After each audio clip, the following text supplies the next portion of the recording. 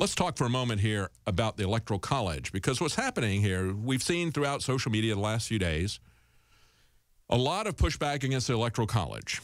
People very angry that we have this instead of a direct democracy. And then the next step openly calling for the people who are electors from the various states to say that they're not going to vote for Trump. And we saw the same thing as the uh, leaders of the GOP were calling for the delegates from the states to not vote for Donald Trump at the GOP convention, openly calling for that, the leadership.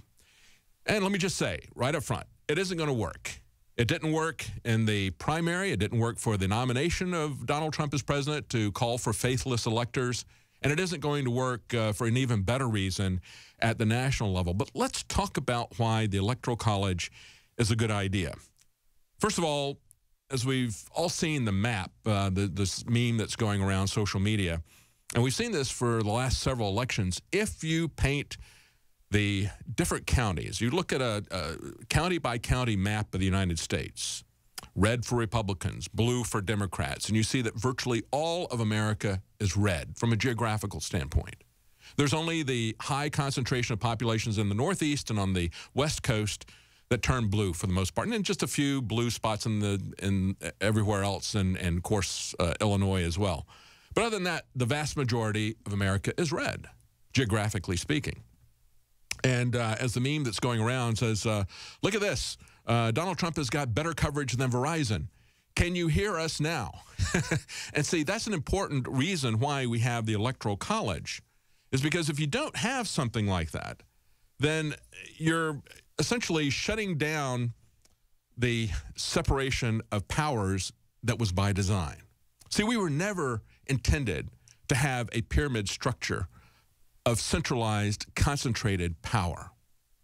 The thing that the founders of this country feared the most, and the reason they had these long debates before they, there's the map right there.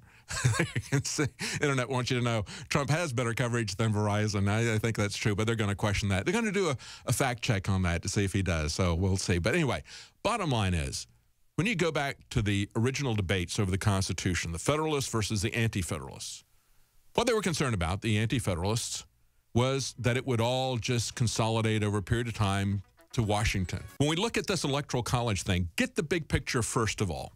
Understand that the founders did not want a pyramid of power with the federal government at the top. That was the thing that they were most concerned not happen. Yet that is what has happened. And it has happened increasingly as we eviscerate the power of the states. Understand that it was 13 sovereign states that created the central government uh, that we now call the federal government. They did it mainly for the process of purpose of self-defense.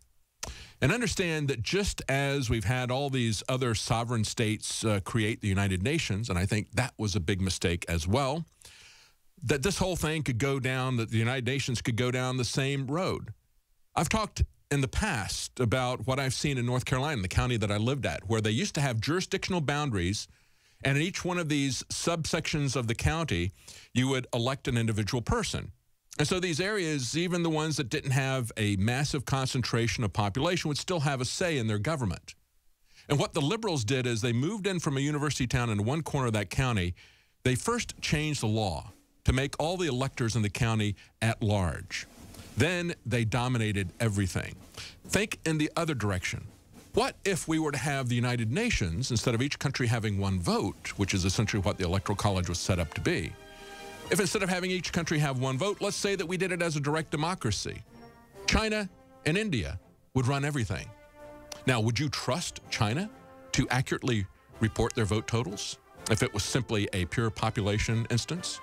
Do you support them to run honest elections? No.